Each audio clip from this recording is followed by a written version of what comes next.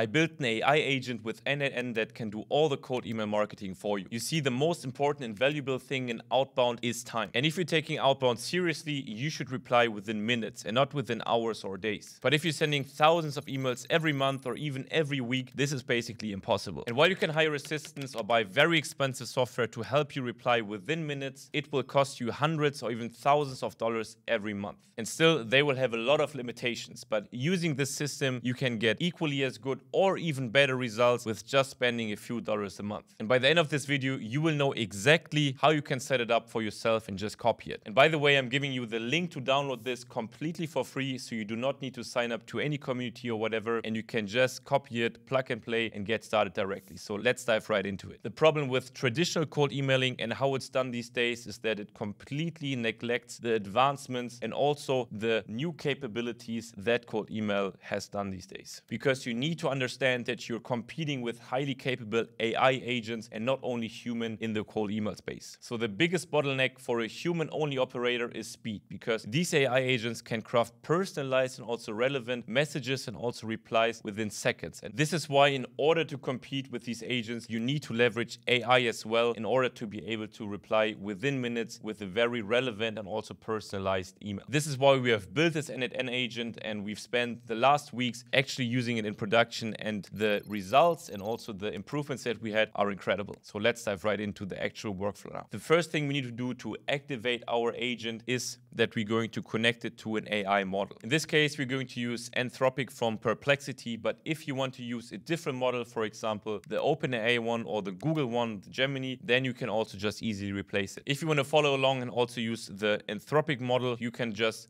create a free account on the Anthropic webpage, and then here connect your instance by creating a new credential. The first thing we need to do now is feed the AI agent with data regarding our company because the replies and the messages should not only be relevant and personalized to the lead, but also based on our company. The best thing is if you just copy and paste things like your website, your value proposition, or sales pitches, as much valuable data as possible so the agent knows exactly who he is dealing with. To keep it simple now and also keep it short, we're going to assume that we are sales So we're going to go on their website and we're just going to copy out all of the content from their website. We are then going to click here on open chat. We're then clicking here on type a message. We're just going to copy paste that in. We can now see that the agent is working and extracting data and also adding supplementary data they can find on the internet. You will most likely get an error message now because you have not connected your Google Sheet yet. So this is something that you will also have to do. We will put a template in the description that you can just also copy and paste, and then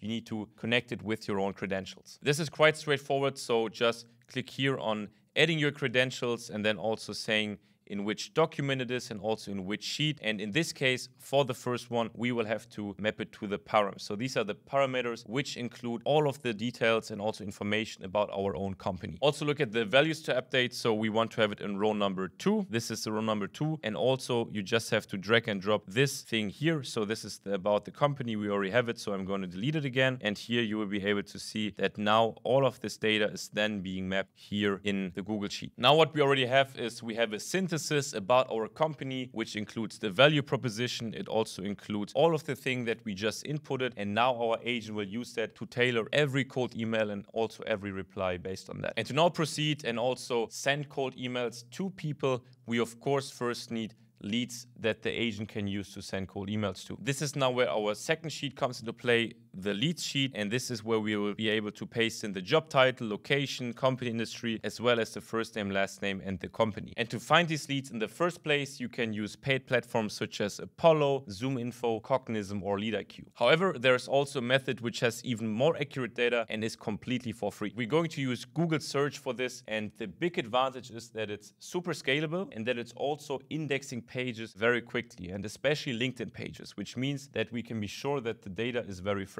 In our case now, in the example we are doing, we want to find leads on LinkedIn, which are senior marketing managers, in the healthcare or pharma industry in the UK. And we also want to make sure that these are not working in the beauty, fitness, or wellness industry. So just go on google.com and I already prepared the prompt for this and we were going to dissect it quickly. So as you can see here, site linkedin.com slash IN. This means that we necessarily want a profile. So this is basically marked by the IN. We also want the job title to be senior marketing manager. So we make it an exact match by putting these signs here. And we also want the industry to be either healthcare or pharma. Also get exact matches. And then we also want to exclude these industries, and that is being done by using the minuses. What we can see now in the current search results, we have people that are senior marketing managers. They are also working in the pharma industry, healthcare, but this person, for example, is from Spain. But as mentioned at the beginning, we only want UK managers. So in order to tackle that, we're going to click here on tools. We're going to click here on advanced search, and we're going to paste the region as United Kingdom. And we will be able to see in our search results that these are senior marketing managers working at a pharma company only in the United Kingdom. And to export these people now, you can use things like Outscraper, or you can also use extensions such as Easy Scraper. And what you will be able to see that everything is being recognized and also identified. The LinkedIn URL, the name of the person, and also the job titles, including location.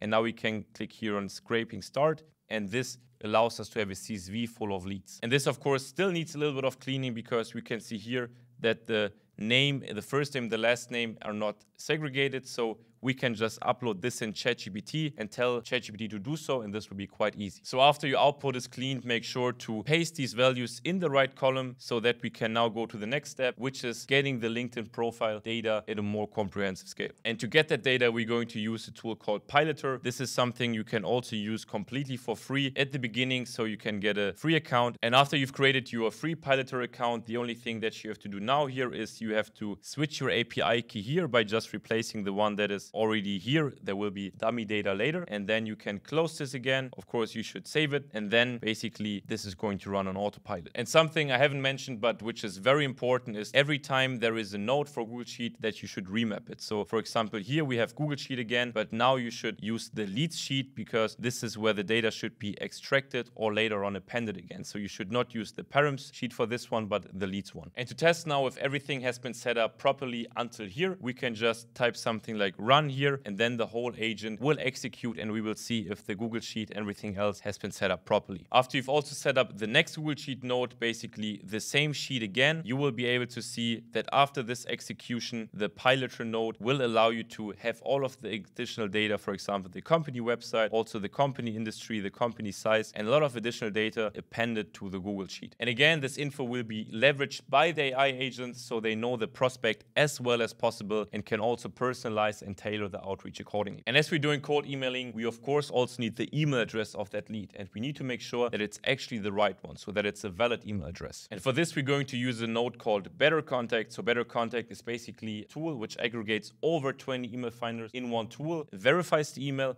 and only pushes back the best one. And just like with Piloterr, you can create a free account with no credit card needed whatsoever, and you just need to paste in the API key that you got after creating your free account. After you created your free account, just click here on the node, and then you'll be able to see here the API key. So just replace it, and now you will be connected to your Better Contact account automatically. And because Better Contact now requests all of these providers and also verifies their email, we're going to use a webhook because it can take some time for the result to populate. So for this to work, work, we need to create a webhook node and then copy paste the webhook URL into the better contact node. And I will show you quickly how to do that. So just double click here on the webhook node and then we will be able to see here the production URL. You have to click here, just copy it out, go back to the better contact node and then click here on the JSON body and then just replace the webhook here. And after all of the validated emails have been found, the webhook will be triggered and only those leads with the valid email will be filtered out. We will also, in order to really tailor the outreach and replies to our company, retrieve the value proposition of the company we work for. So this is basically being done here in this Google node. And then we will also get the additional data of the prospects that we enriched with Piloterr previously. And again, make sure to connect your Google Sheets. So this is the leads sheet and this is the params sheet, right? So this is params is where we had our company data saved and leads is where we had our lead level data saved. And now the next part of the AI agent is coming into play. Again, make sure to map your Anthropic chat model. And now now the AI agent will create the first email copy. And to create that copy, we gave the AI agent a prompt, and this is being seen here. You can also change that, adjust it to your liking, and then after the message has been created, we will push this to our outreach tool. You can use a lot of different ones, so your outreach tool just needs an API, but because SmartLead has the most flexible API, we will be using them. But you can also use things like Salesforce, Saleshandy, Reach Inbox, or Instantly, or a lot of different other ones. You can create a free trial on SmartLead, so a 14-day free trial. You also don't need credit card whatsoever, so just get started here, and then you will be able to get an API key and also map it here in your node. What we have to do now is create our email campaign, and now you have to actually import leads as the first step, but in this case, we do not need to do that. So we're just gonna click here on sequences, and here we have to put the subject because this is gonna be automatically filled by our AI agent, and here we're gonna type in the body, which will also be automatically be populated by our AI agent. So we're gonna click here on save and next. You then have to adjust your sender accounts as well as schedule campaign, and then for the campaign settings, we will gonna click here on webhooks. We're gonna add a webhook, and then we're just gonna name it something, for example, L1, and then we're gonna create a webhook in our n8n node again, and then we will paste it there. So for this, we're gonna need the new webhook node, and this one here, we're gonna click here on production URL again, and then copy it out, and then click here, and then we only want to have this webhook triggered when we have an email reply. So we're gonna create the webhook here, and then we're gonna see that the webhook is created. Another important thing we need to do is going back on the interface, click on the campaign, and then we need to copy out the campaign tag because this will allow us to identify the campaign and the AI agent can handle accordingly. So we're gonna copy it out, go back to the agent, and then we have to paste it here. This will also be in the instructions. And now as soon as we receive the reply on the webhook, it will be triggered and the reply will be sent to the Google Sheet in the reply tab. So this is the new sheet that we will have created. We will see the lead email, the reply, as well as two important identifiers that we will need. And to make sure that the reply from the AI agent to the response of that lead is also again personalized and also tailored, we will have to connect our Google Sheet again. And of course, the goal is to book a meeting. So make sure that you replace your Calendly link here so you can use whatever scheduling tool you would like to use. So this can be changed here in the text. So here, just replace it with your own calendar so that the AI agent can send it out accordingly. And after the AI agent came up with a reply, it will be mapped to the Google Sheet and also be automatically sent out to SmartLead so that everything is handled autonomously. And something that we also add here in the Google Sheet is the sentiment, because this is something that the AI agent will also check on an email basis. And this will allow us to see what type of response we receive. And now the good thing is that the AI agent is able to handle a large email thread. So even if the person replies again, the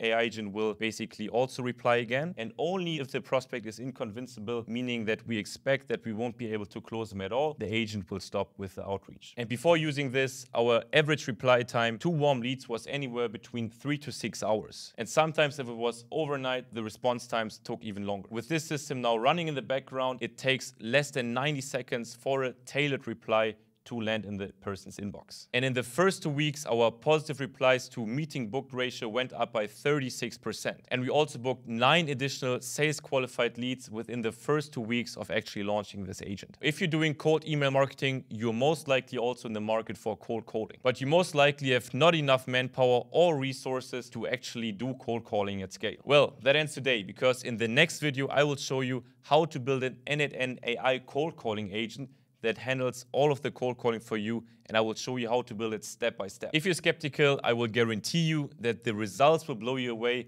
and this is just something on a different level. See you over there.